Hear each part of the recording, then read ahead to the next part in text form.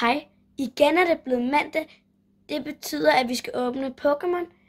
Jeg glæder mig så meget til at åbne de her tre forskellige fede serier.